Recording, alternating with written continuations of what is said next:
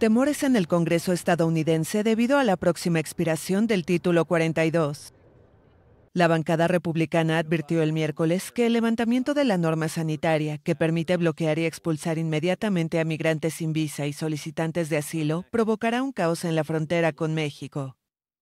El llamado Título 42 fue implementado en 2020 durante el gobierno de Donald Trump para contener el avance de la pandemia.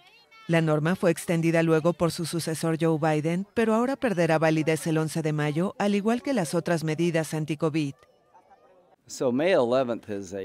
El 11 de mayo es una fecha de pesadilla para el pueblo estadounidense, particularmente para la gente de México y Texas. Lo que va a pasar es que la administración de Biden va a derogar el uso de la autoridad del título 42 para expulsar personas. Esto no es una deportación, esto es expulsar. Es la capacidad de decirle a alguien que tiene que volver a casa debido a las preocupaciones del título 42. Eso se va el 11 de mayo. El republicano estima que el fin del título 42 duplicará la afluencia de migrantes de México y que la policía fronteriza se verá desbordada. En los próximos 90 días van a ser de 900 mil a 1,1 millones. Eso es lo que viene. Si se revoca el título 42 el 11 de mayo, básicamente se está duplicando el problema.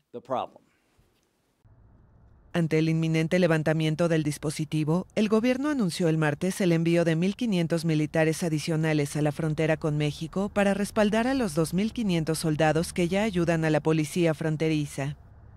El título 42 será reemplazado por el título 8, que permite expulsar a todos los migrantes que no tengan una autorización para entrar, y a diferencia del título 42, lo sancionará con una prohibición de reingreso de al menos cinco años si lo intentan de nuevo, así como con posibles procesos penales.